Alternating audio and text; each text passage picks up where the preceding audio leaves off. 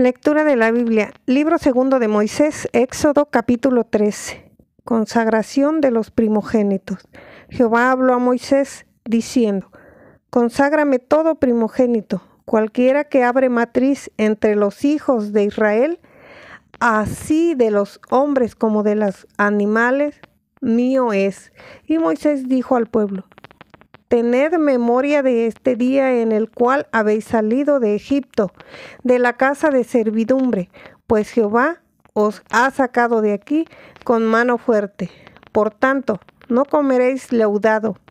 Vosotros salís hoy en el mes de Aviv, y cuando Jehová te hubiere metido en la tierra del cananeo, del eteo, del amorreo, del ebeo y del jebuseo, la cual juró a tus padres que te daría, tierra que destila leche y miel, harás esta celebración en este mes. Siete días comerás pan sin leudar, y el séptimo día será fiesta para Jehová. Por los siete días se comerán los panes sin levadura, y no se verá contigo nada leudado ni levadura en todo tu territorio. Y lo contarás en aquel día a tu hijo, diciendo, se hace esto con motivo de lo que Jehová hizo conmigo cuando me sacó de Egipto, y te será como una señal sobre tu mano y como un memorial delante de tus ojos, para que la ley de Jehová esté en tu boca, por cuanto con mano fuerte te sacó Jehová de Egipto. Por tanto, tú guardarás este rito en su tiempo de año en año.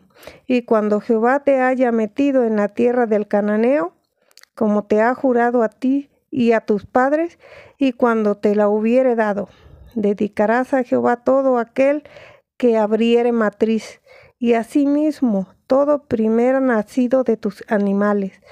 Los machos serán de Jehová, mas todo primogénito de asno redimirás con un cordero y si no lo redimieres, quebrarás su cerviz. También redimirás al primogénito de tus hijos.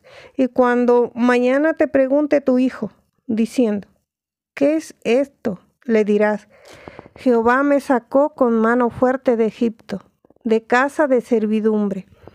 Y endureciéndose Faraón para no dejarnos ir, Jehová hizo morir en la tierra de Egipto a todo primogénito desde el primogénito humano hasta el primogénito de la bestia.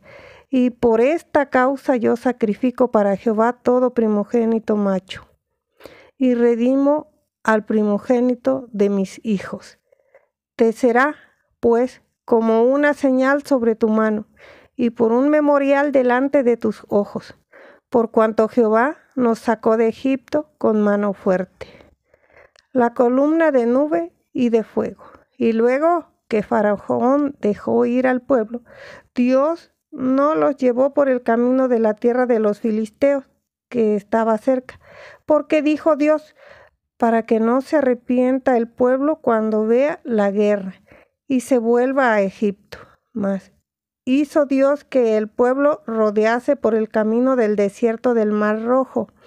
Y subieron los hijos de Israel de Egipto armados Tomó también consigo Moisés los huesos de José, el cual había juramentado a los hijos de Israel, diciendo, Dios ciertamente os visitará y haréis subir mis huesos de aquí con vosotros.